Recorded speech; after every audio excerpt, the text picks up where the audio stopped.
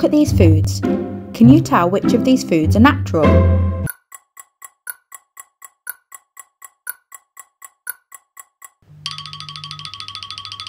Time's up. Did any of these surprise you? Now, we may have been a little bit sneaky here as we use the word natural. Natural in this case is referring to foods that have not been genetically modified but may have been selectively bred for their characteristics in the case of seedless grapes. But what is genetically modified food? GM foods are plants grown for food whose genes have been altered using genetic engineering methods.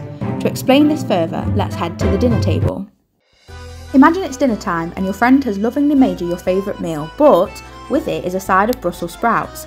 And you hate Brussels sprouts, so you start to think about all the ways these Brussels sprouts could taste better. So, let's make some. Let's say we want to make Brussels sprouts that taste of your favourite veg, carrots. Luckily for us, a scientist has identified a gene in carrots that give it its perfectly carroty taste. Not really, but let's go with that here. Let's name this gene gene C for carrot enzymes can be used in genetic engineering like scissors to isolate the gene of interest. We can insert gene C into a vector like a bacterial plasmid or virus. The vector acts like a vehicle for us to deliver the gene. We can then transfer the gene into the cells of our Brussels sprouts during an early stage of development so that they grow and develop to now taste of your favourite veg. Deliciously simple. Well, in the real world, it's not quite this simple, but let's be honest, nothing ever is and we can at least imagine a world where Brussels sprouts are, well, at least a little less Brussels sprout like. But apart from making food taste better, what are some benefits to GM food? Let's first look at some problems that the food industry faces. The global population is due to exceed 10 billion by 2050, which means a further demand for food and pressure on resources.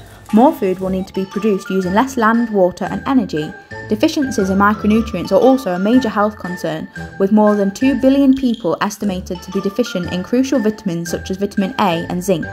Genetically modifying crops has enabled us to create species more resistant to disease, drought, and insects, as well as increasing crop yields, giving us the ability to add micronutrients to food that otherwise wouldn't have them, or even make them tastier, like the Brussels we made earlier.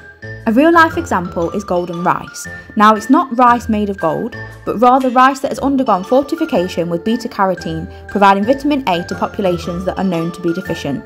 Sounds too good to be true, right? Some people have concerns about GM foods. Firstly, some people believe that it's not ethical to edit crops using genetic engineering methods and therefore are opposed to GM foods.